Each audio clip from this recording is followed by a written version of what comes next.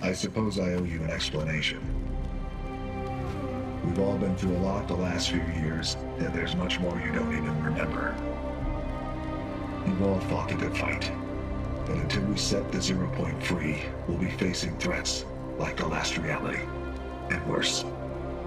There will be no escaping it. That's why I need your help to destroy the imagined order. As long as they're exploiting the zero point, everything is in danger.